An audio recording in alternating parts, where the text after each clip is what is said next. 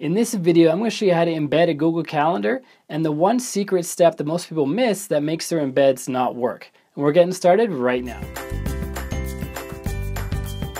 Hey, what's up guys? Welcome back to another video. It's Bjorn from WP Learning Lab, where we help you get better at WordPress so you can earn more for yourself, for your clients, and for your business. If it's your first time here, hit subscribe, then hit the bell notification icon so you're notified when I publish more tutorials for you. And with that out of the way, let's head into the screen capture and learn how to embed Google Calendars the right way. I'll see you there. So I'm currently at calendar.google.com. If you already have calendars, they will appear here after you sign in. If you don't have any yet, you can easily create an account and make some calendars or sign into an existing Google account and create calendars. Now there's two ways to get to the share code. One is better than the other. So if, if we hover over any of the calendars on the left hand side here, click on that down arrow, go to calendar settings, this is one way to get at the share code. However, that doesn't help us get to the permissions area because there's no permissions to be set in here. If we save, cancel, or click back to calendar, it goes back to here and we think everything's fine, but it's actually not. So what we have to do is click on this gear up here for the overall settings. Click on settings there, then click on calendars at the top. And beside the calendars that can be shared, we have a sharing column and there's a shared edit settings, shared edit settings. So if I click into shared edit settings, we want to make sure we choose make this calendar public. Otherwise, it can't be seen on your website unless you're signed in to your Google account. So this is a calendar just for your team and you know they're all going to be signed in to the Google accounts when they visit your site. That works fine. But if this is for the general public, you're going to have to make sure you have this box checked. I click on save. Yes, we want to make it public. And now we have our calendars here.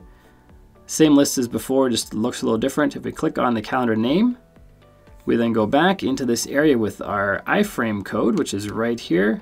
Copy all of it. Then we take that code. In my case, I'm in WordPress, but this works for any website where you have the ability to add HTML. So I'm just going to go to a page, click on Add New. You'd create the page how you need to in your platform, possibly WordPress, so it would be the same way. We want to type in calendar up here. Make sure we're on the HTML tab instead of the visual.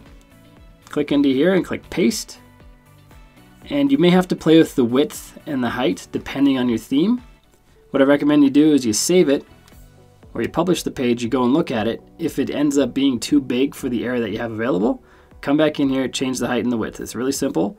I'm gonna show you how to do it right now actually. So we're gonna open this calendar, and here is how it looks.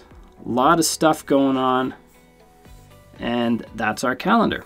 Now if we go back, we can make it narrower. So we make the width 500 pixels. Click on update, then click on refresh, and we see our calendar is now much narrower. So it can fit into the space that you have available, which is pretty sweet. To take that a little bit further, something else you can do to make it fit into your website better is change its appearance. So this color scheme might be way off of what your website is and it might be terrible to look at.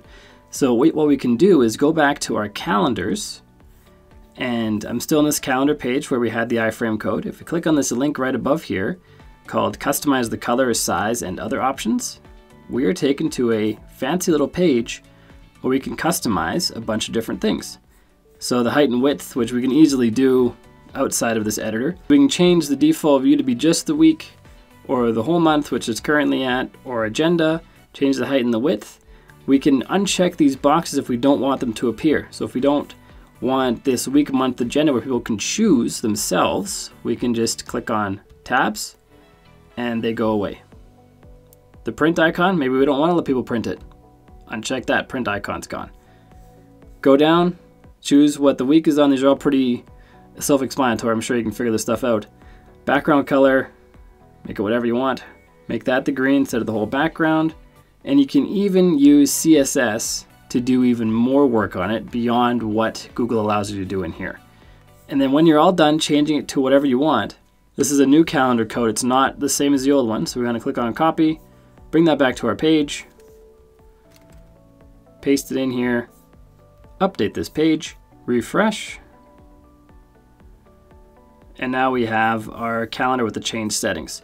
Now to do your own custom CSS, it's a little more work, but we can inspect any of these elements And this isn't the point of this video because I don't even know if you want to do custom coloring, but you can come in here and we can change the background color or color for anything really. Background color to red. So that's red now. And you can go through and, and define the styles that you want all over this calendar using CSS.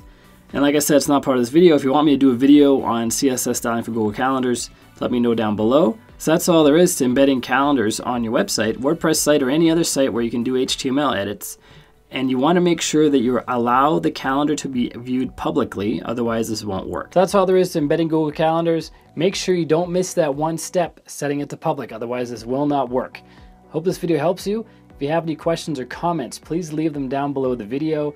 If you haven't done so yet, hit subscribe.